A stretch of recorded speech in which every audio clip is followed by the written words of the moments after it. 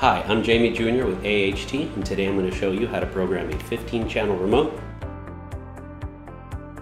Within 10 seconds of plugging it into power for the first time, you have the opportunity to press the P2 button twice. You'll hear some beeps. Then you should have to press right if the motor is mounted on the left side looking in, or down if the motor is mounted on the right side looking in.